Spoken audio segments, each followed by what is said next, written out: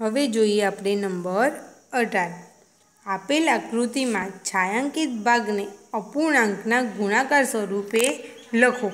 તો આપણે શું કહે, કીધું છે કે છાયાંકિત ભાગને અપૂર્ણાંકના ગુણાકાર સ્વરૂપે લખવાનું છે. તો પહેલું આપ્યું છે, જેમાં કેટલા છે? ત્રણ કોષ્ટક છે. તો ત્રણ કોષ્ટક છે, જેમાં એક કોષ્ટક કેવું છે? પૂર્ણ છે.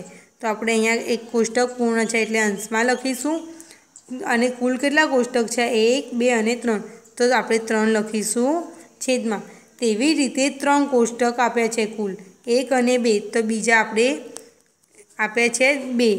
અને એના સિક્કે છે ત્રણ. એટલે તેને ત્રણ વડે ગુણીશું. તો આપણને ગુણાકાર સ્વરૂપે મળે તો એક ભાગ્યા એક ભાગ્યા ત્રણ ગુણ્યા ત્રણ. બરાબર છે? તેવી રીતે બીજું છે. બીજું કોષ્ટકની અંદર કુલ કોષ્ટક આપ્યા છે, નવ આપ્યા છે. તો આપણે છેદમાં લખીશું નવ. અને રંગીન કોષ્ટક કેટલા છે? જે છે ચાર. તો આપણે અંશમાં લખીશું ચાર. તેવી રીતે બીજા કોષ્ટકમાં પણ કેવા છે? ચાર પૂર્ણ છે, એટલે કે રંગીન કરેલા છે. અને નવ કોષ્ટક કુલ છે, એટલે છેદમાં નવ આવશે. અને ત્રીજા કોષ્ટકમાં પણ એવું જ છે કે ચાર ભાગ કેવા છે? રંગીન કરેલા છે. અને કુલ ભાગ નવ છે. એવા ત્રણ કોષ્ટક આપે છે. એટલે આપણે ચાર ભાગ્યા નવને ત્રણ વડે ગુણીશું. બરાબર? હવે જોઈએ દાખલા નંબર ઓગણીસ, ઉકેલો. તેની અંદર પહેલો જોઈએ બે ભાગ્યા ત્રણ ગુણ્યા ચાર. તો બે ભાગ્યા ત્રણ ગુણ્યા ચાર કરવાના છે. તો ગુણાકાર છે, તો ક્યાં ગુણાશે? અંશમાં ગુણાશે. એટલે કે બે ગુણ્યા ચાર ભાગ્યા ત્રણ. એટલે બે ગુણ્યા ચાર કેટલા થશે? આઠ ભાગ્યા ત્રણ. તેને મિશ્ર અપૂર્ણાંકમાં લખવા હોય તો ત્રણ દુ છ. છમાં કેટલા ઉમેરીએ તો આઠ મળે? તો બે ઉમેરીએ તો આઠ મળશે. તો તેવી જ રીતે તમારે બીજા નંબરનો અને ત્રીજા નંબરનો ગુણાકાર છે, જે જાતે કરવાનો રહેશે. હવે આપણે જોઈએ નંબર વીસ. કિંમત શોધો. તેની અંદર છે પહેલા નંબરનો. એકસો પચાસ સેમીના ત્રણ ભાગ્યા ચાર. તો એકસો પચાસ સેમીના ત્રણ ભાગ્યા ચાર છે. એટલે કે એકસો પચાસને ત્રણ ભાગ્યા ચાર વડે ગુણવાના. તો એકસો પચાસને ત્રણ ભાગ્યા ચાર વડે ગુણો. તો લખાશે એકસો પચાસ ગુણ્યા ત્રણ ભાગ્યા ચાર. તો અહીંયા ગાડી એવું લખી શકીએ કે એકસો પચાસ ગુણ્યા ત્રણ દર બંનેના છેદમાં ચાર. તો છેદ ઉડાડો. તો અહીંયા ગાડી ઉડશે બે અને અહીંયા ગાડી ઉડશે પંચોતેર. એટલે કે પંચોતેર દુ એકસો પચાસ. તો હવે પંચોતેર ગુણ્યા ત્રણ કરો તો કેટલા મળશે? બસો ને પચીસ ભાગાકારમાં આવશે બે. તેને આપણે મિશ્ર અપૂર્ણાંકમાં ફેરવવા હોય ફેરવવા હોય તો તે રીતે ફેરવી શકીએ. અથવા તો તેને ભાગાકાર કરીએ તો આપણને મળશે એકસો ને બાર પોઈન્ટ પાંચ. અને જો મિશ્ર અપૂર્ણાંકમાં ફેરવીએ તો છેદમાં આવશે બે. તો આપણે તેને કેટલા વડે ગુણીએ? તો એકસો ને બાર વડે ગુણીએ. તો એકસો બાર દુ બસો ને ચોવીસ. બસો ચોવીસમાં એક ઉમેરીએ તો આપણને મળશે બસો પચીસ. જે આપણું મિશ્ર અપૂર્ણાંકમાં એકસો બાર પૂર્ણ એક તૃતીયાંશ તેવી રીતે થશે. તેવી જ રીતે દાખલા નંબર બે અને દાખલા નંબર ત્રણ છે, જે તમારે જાતે કરવાનો રહેશે. હવે આપણે જોઈએ દાખલા નંબર એકવીસ. ગુણાકાર કરો અને સંક્ષિપ્ત સ્વરૂપમાં તથા મિશ્ર અપૂર્ણાંકમાં ફેરવો. આપણે ગુણાકાર કરીને સંક્ષિપ્ત સ્વરૂપ એટલે કે ટૂંકામાં ટૂંકું સ્વરૂપ અને તેને મિશ્ર અપૂર્ણાંકમાં લખવાના છે. તો તેની અંદર જોઈએ પહેલા નંબરનું. તેર ગુણ્યા એક ભાગ્યા ત્રણ. તો તેર ગુણ્યા એક ભાગ્યા ત્રણ બંનેના છેદમાં ત્રણ આવશે. તો તેર ગુણ્યા એક કેટલા થશે? તેર ભાગ્યા ત્રણ. તેને મિશ્ર અપૂર્ણાંકમાં ફેરવો. તો અહીંયા લખાશે ત્રણ. ત્રણ ચોક થશે બાર. એક, બારમાં એક ઉમેરીએ તો મળશે તેર. તો જે આપણને મિશ્ર અપૂર્ણાંકમાં મળશે. તેવી જ રીતે તમારે દાખલા નંબર બે અને ત્રણ જે જાતે કરવાનો રહેશે. હવે જોઈએ આપણે નંબર બાવીસ. રીમા અને વિક્રમ પાસે વોટર બેગમાં સાત લીટર પાણી હતું. તેમાંથી વિક્રમે ચાર ભાગ્યા સાત ભાગ પાણી પીધું.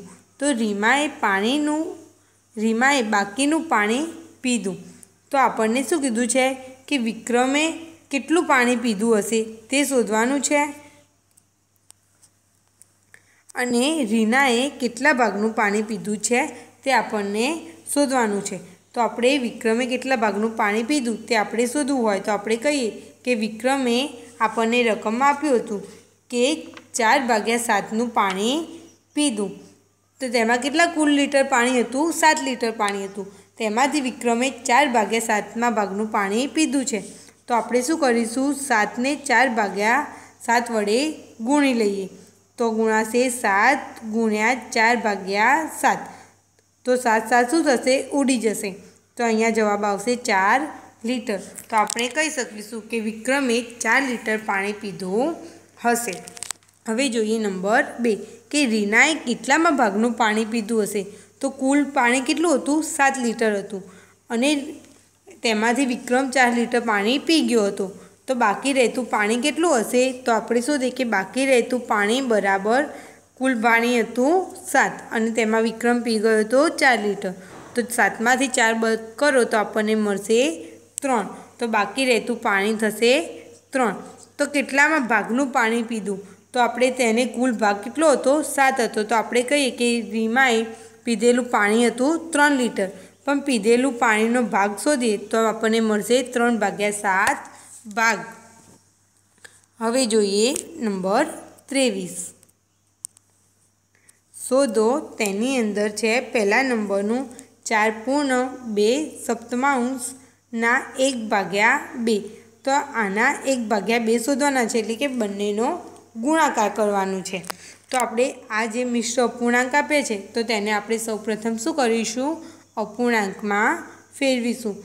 તો સાતને ચાર વડે ગુણો, તો સાત ચોક અઠ્યાવીસ. તેનો બે વડે સરવાળો કરો. એટલે કે અઠ્યાવીસ વત્તા બે એટલે મળશે ત્રીસ ભાગ્યા સાત. તેનો એક ભાગ્યા બે.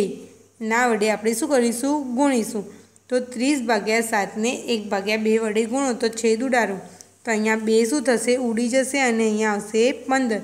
પંદર દૂ ત્રીસ થશે એટલે બરાબર છે? તો અંશમાં આપણને મળશે પંદર અને છેદમાં મળશે સાત. તેને આપણે મિશ્ર અપૂર્ણાંકમાં ફેરવીએ તો સાત દુ ચૌદ, સાત દુ ચૌદ એટલે આપણે એક ઉમેરીએ તો પંદર થશે. તો આપણો મિશ્ર અપૂર્ણાંક મળશે બે પૂર્ણ એક ભાગ્યા સાત. તો તેવી જ રીતે તમારે દાખલા નંબર બે અને ત્રણ છે, જે જાતે કરવાનો રહેશે. હવે આપણે જોઈએ દાખલા નંબર ચોવીસ. આપેલ અપૂર્ણાંકનો ગુણાકાર કરો. તો તેની અંદર છે પહેલા નંબરનું. બે ભાગ્યા પાંચ ગુણ્યા એકવીસ ભાગ્યા પાંચ. તો અપૂર્ણાંકનો ગુણાકાર કરવાનો છે. તો શું થશે? અંશનો અંશમાં ગુણાશે અને છેદનો છેદમાં ગુણાકાર થશે. તો અંશનો અંશમાં ગુણાકાર કરો તો બે ગુણ્યા એકવીસ. અને છેદનો છેદમાં ગુણાકાર કરો તો પાંચ ગુણ્યા પાંચ. બે ગુણ્યા એકવીસ એટલે કેટલા થશે? બેતાળીસ થશે. અને પાંચ ગુણ્યા પાંચ એટલે મળશે પચીસ. હવે તેને આપણે મિશ્ર અપૂર્ણાંકમાં ફેરવવાના છે. તો અહીંયા ગાડી લખીશું છેદમાં પચીસ. પચીસ દુ પચાસ થઈ જાય. એટલે શું લખીશું? પચીસમાં એક ઉમેરીશું. એટલે કે પચીસ ગુણ્યા એક એટલે પચીસ. પચીસમાં હવે કેટલા ઉમેરીએ તો બેતાળીસ થશે. તો તેવા સત્તર ઉમેરીએ. તો પચીસ વત્તા સત્તર કરો તો બેતાળીસ થશે. તો આપણને એક પૂર્ણ સત્તર ભાગ્યા પચીસ તેવો જવાબ મળશે. તેવી જ રીતે તમારે બીજા અપૂર્ણાંકોની નો ગુણાકાર જે છે તે જાતે કરવાનો રહેશે, જે દાખલા નંબર બે અને ત્રણ છે. બરાબર? હવે આપણે જોઈએ નંબર પચીસ.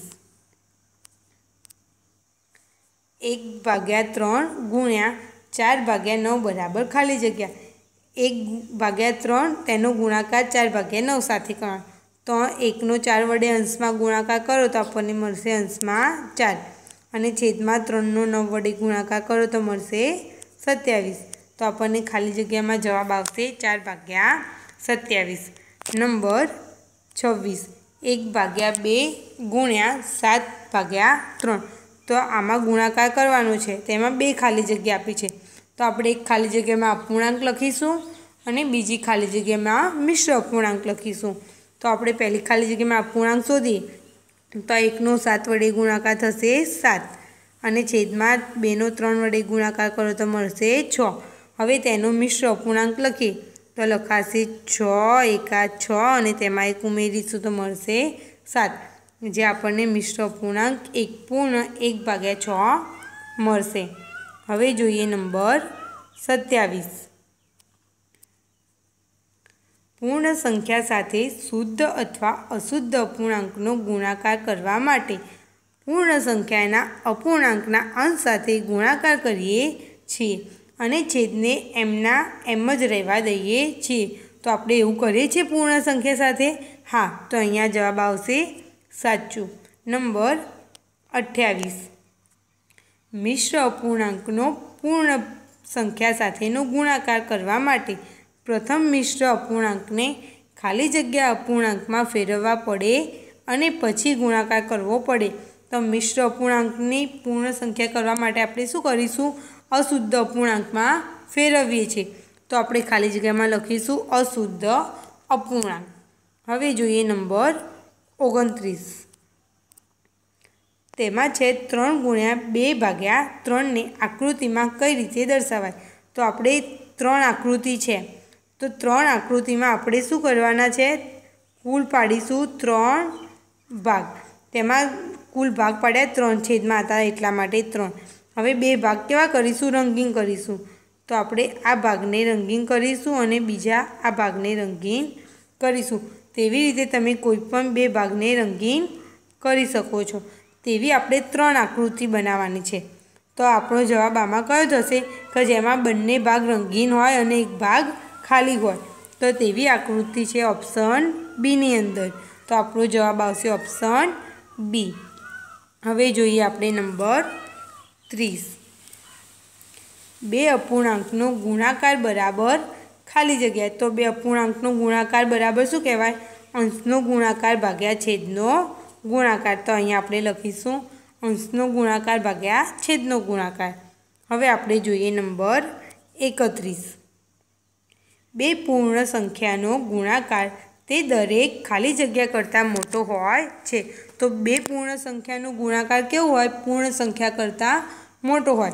તો આપણે ખાલી જગ્યામાં લખીશું પૂર્ણ સંખ્યા. નંબર બત્રીસ. બે ખાલી જગ્યા ગુણાકારની કિંમત તે દરેક અપૂર્ણાંક કરતાં નાની છે. તો બે ગુણાકારની કિંમત દરેક અપૂર્ણાંક કરતાં નાની હોય તો તેવી કયો ગુણાકાર આવશે? જે શુદ્ધ અપૂર્ણાંકો આવશે. તો આપણે ખાલી જગ્યામાં લખીશું શુદ્ધ અપૂર્ણાંકો. હવે લખ, જોઈએ આપણે નંબર તેત્રીસ. એક ભાગ્યા ત્રણ ગુણ્યા બે ભાગ્યા પાંચ, બરાબર બે ભાગ્યા પંદર. તો અહીંયા ગુણાકાર આપ્યો છે, તે બરાબર છે, સાચો છે. તો આથી એક ભાગ્યા ત્રણ, ખાલી જગ્યા બે ભાગ્યા પંદર અને બે ભાગ્યા પાંચ, ખાલી જગ્યા બે ભાગ્યા પંદર. તો આ બંનેમાંથી મોટી સંખ્યા કઈ છે? જે છે એક ભાગ્યા ત્રણ. તો આપણે ચિહ્ન કયું દર્શાવીશું? જે દર્શાવીશું? ગ્રેટર દેનનું કેમ કે એક ભાગ્યા ત્રણ સંખ્યા કેવી છે? મોટી છે. એટલા માટે અહીંયા ચિહ્ન આવશે ગ્રેટર દેનનું જ્યારે બે ભાગ્યા પાંચ અને બે ભાગ્યા પંદરમાંથી મોટી સંખ્યા છે બે ભાગ્યા પાંચ. તો અહીંયા પણ ગ્રેટર દેનનું ચિહ્ન આવશે. હવે આપણે જોઈએ નંબર ચોત્રીસ.